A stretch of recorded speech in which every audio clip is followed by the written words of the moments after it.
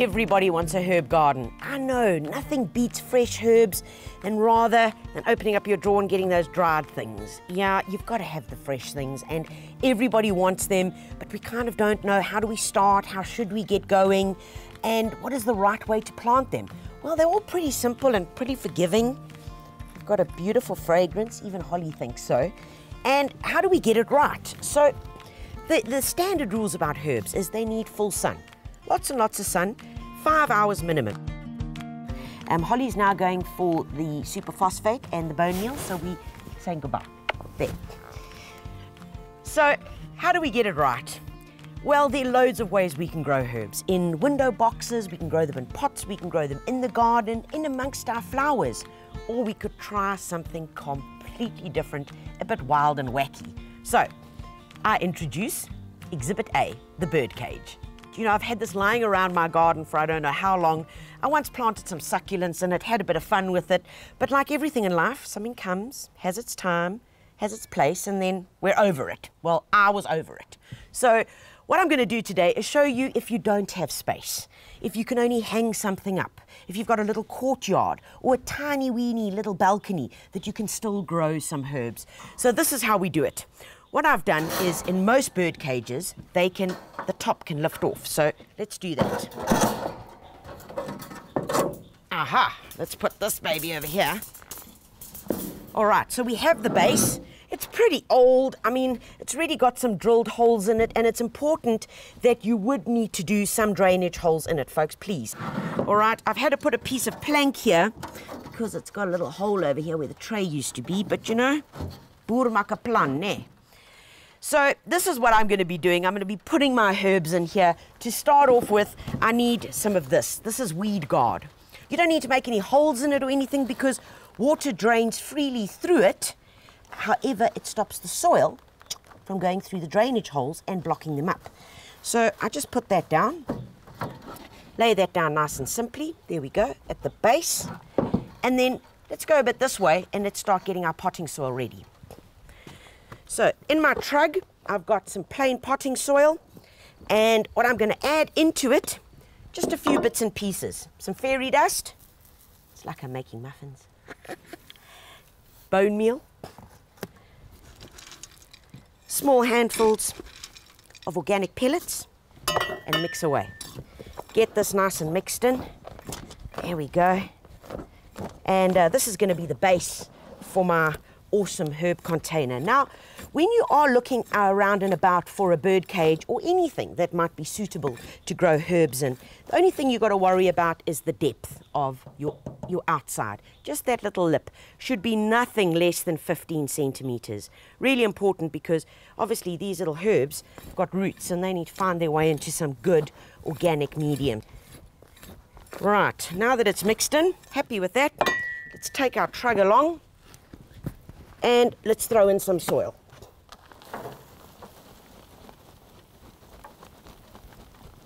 Right, that should do it for starters. All we're going to do now is just feed the soil into the corners, making sure that my little piece of wood is there. And it's amazing the volume that you can actually fit into something that's so lovely and wide. So not too much soil, and you can see I filled it up literally just halfway, okay? Not too much. Because this is going to be almost like creating a little miniature herb garden, um, and we're going to have a lot of fun with it. So first up, um, I'm going to be using some gorgeous rosemary. This is ginger rosemary. Oh man, guys, I wish you could smell this because this is powerfully ginger. Makes lovely tea, great for putting in stir fries. You know when you want that ginger flavour and you're adding a bit of soya sauce? Fabulous. Grab a bit, whack it into the frying pan, and away you go. So my rosemary is going to be king of the castle, obviously because he's going to get the tallest out of most of these. So I'm going to put one in there and because I can, I'm going to put two in. Let's pop another little boy in right there. Now, already you're probably saying, oops, Tanya, this is not going to work because your base here, look at that. I mean, your herb's going to be growing out here, but that's all part of the plan. Because we've got such a lovely wide area to work with, we can mound it. I'm going to put in this beautiful tricolour sage. And remember, with your herbs, that most of them don't like too much water. So good watering in very hot days, every second day should be ample. And you can reduce it down to every third day if we've got just moderate cloud cover in that. Right, we've got a beautiful sage in there. Then I'm going to work with some thyme. Now, and this is a lovely variegated lemon thyme. Beautiful with fish. Remember, thyme also cuts away at any fatty um, material, any fatty meat that you're using it. So even use it with some lamb. Whole sprigs shoved into it, fantastic. Okay, so a little thyme plant in there. Let's balance it out a bit. And I'm gonna put another little thyme plant over here. Most fantastic. And then I've got a chili because what gardener doesn't have a garden with chili? And this chili over here is called Masquerade. It's one of the hybrid chilies that you'll find. Beautiful coloring. So they start off red, they'll go into a deep purple, and eventually this entire bush will just be filled with purple chilies. Not too hot. So those faint-hearted that are chili 101 little beginners, buy the Masquerade because it's not going to kind of blow out your ears and stuff. Um, it's a very gentle chili, actually. So using our scoop, and here we just start popping in our soil just around them. So it's much easier than having all the soil and then trying to squash the herbs in. um, so we're just reversing it, taking it back a step or two. All right, our main plants are in. Now what we're going to do is to so that we don't have to end up looking at this bare soil. You know, we may as well, if we're putting a little herb container together, let's work with something else. So I've got a tray of beautiful frilly red lettuce, the perpetual lettuce. Remember, you can pick the outer leaves as soon as you want. Literally today, I could pick these leaves and start making a little salad. So you don't have to remove the entire lettuce at once when you're needing to pick, which is what I like because you can still then keep your lettuce looking kind of okay in your garden. So to fill up some gaps, I'm going to put these in. These will last for about three months in this container.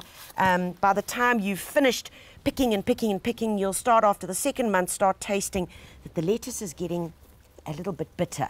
It's at that point that you need to pull this little lettuce plant out and replace them with six new little plants. So just to add a little bit of colour, I've got a little bit of mustard greens here. Mmm, beautiful zingy, peppery, lovely. Nice in salads, great in stir fries, um, throw them in anywhere, um, but a lovely leaf to work with. Let's bring this baby up. Now just be gentle over here when you're working with the edges of your, with your um, herbs. Let's hook this baby up over here. Right, so the cage is on top. Now let's do a few little finishing touches to make it my own special herb cage. So what I've got, little Smurfs. I love the Smurfs. And um, we're gonna put the uh, little Smurf family in here. May as well keep it quite cool and funky and uh, pop her in there. I've got some tillandsias, some awesome tillandsias that I've just broken off from a few plants in my garden. Um, remember with tillandsias, when you are tying them up, they're an air plant. They literally grow hanging on trees. You can tie, you can literally put a piece here and it will grow, you know, that's how they live. All they do is they suck up the moisture from the surrounding air. Some of them grow in full sun, some require a bit more semi-shade. So just make sure the variety that you're using in your herb tray um, is one that needs the full sun. So take a bit. I love using this little plastic coated wire if you use ordinary wire, folks, what happens is the wire heats up and actually burns the plant. So that's why you always want to use this little plastic coated. So we can pop a little baby on there. There we go. And I can put my little green twine around it and tie it to, ah, there's that little guy. And then I've got another little guy here. And I can pop that little guy. So he can start peeping through there. Nice. And Close up my cage because we wouldn't like the little Smurf babes to escape.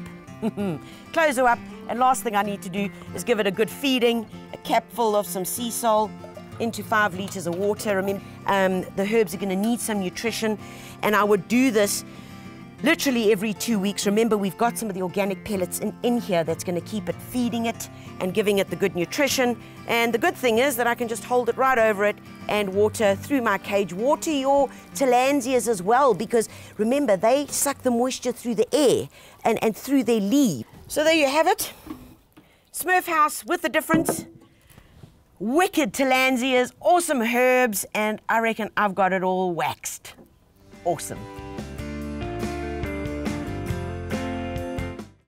Thank you.